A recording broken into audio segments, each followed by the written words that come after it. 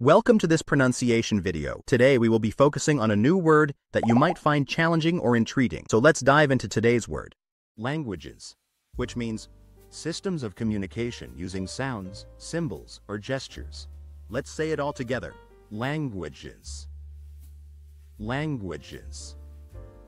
Languages. One more time. Languages. Languages. Languages. Thank you for joining us on this adventure in pronunciation. Remember, language is a journey, not a destination. Keep exploring, experimenting, and expanding your linguistic horizons. We'll see you next time.